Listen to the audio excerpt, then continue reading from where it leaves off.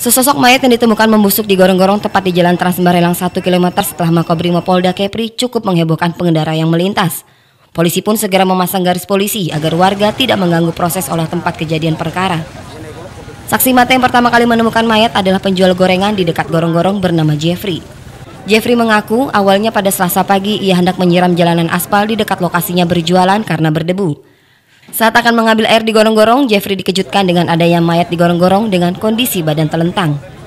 Jeffrey lantas menyadari bahwa bau busuk yang ia cium sejak pagi berasal dari mayat tersebut. Tanpa pikir panjang, Jeffrey langsung menemui petugas jaga di pos Makor Brimob untuk melaporkan kejadian yang ditemuinya itu. Nggak apa-apa.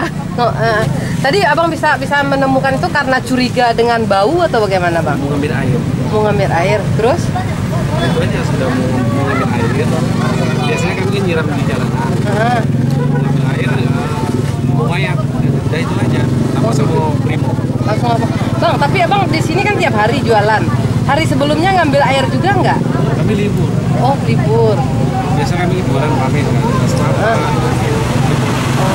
Di lokasi polisi juga menemukan sejumlah kejanggalan di mana terdapat puing bekas kap motor yang terlihat pecah tak jauh dari lokasi penemuan mayat. Untuk memastikan, polisi juga berkoordinasi dengan Satuan Lantas Polresta Barelang untuk mencocokkan data korban lantas yang belum ditemukan identitasnya. Polisi juga memutuskan untuk melakukan olah TKP ulang untuk mengumpulkan bukti-bukti yang dibutuhkan untuk penyelidikan. Tim Liputan Kelas 7 menginformasikan.